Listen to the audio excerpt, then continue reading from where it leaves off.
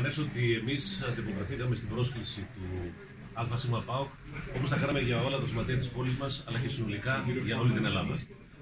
Θέλουμε ο αθλητισμός να προοδεύει, οι αγώνες δεν κρίνονται μέσα στα γήπεδα, να μην κρίνονται ούτε στα δικαστήρια τα πρωταθλήματα, ούτε στα υπουργικά γραφεία.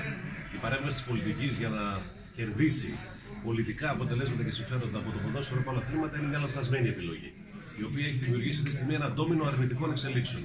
Λανθασμένες επιλογές διορθώνουν λάθη, παρεμβάσεις νέες διορθώνουν προηγούμενες παρεμβάσεις και τελικά έχουμε εκτεθεί και σε διεθνείς φορείς.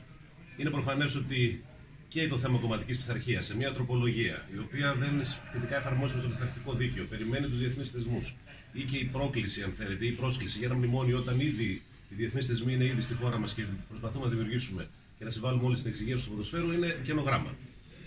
Αυτό που εμείς σήμερα συζητήσαμε και περιμένουμε και τις προτάσεις του ΑΣ είναι να δημιουργηθεί ένα πλαίσιο έτσι ώστε το ποδόσφαιρο και όχι μόνο πάω να βγει κερδισμένο, η πολιτική να ξαναποκτήσει την αξιοπιστία της, διότι έχει φύγει πάρα πολύ και θέλουμε το πρωτάθλημα να κρυθεί μέσα στους αγωνιστικούς χώρους. Αυτό είναι κάτι που μας ενώνει όλους και είναι απολύτως καθαρό και ξεκάθαρο.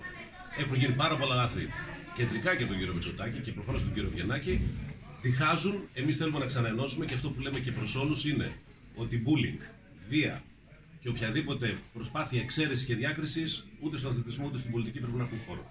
Αυτό εμείς θα το υπερασπιστούμε και για όλους τους συναδέλφους μας.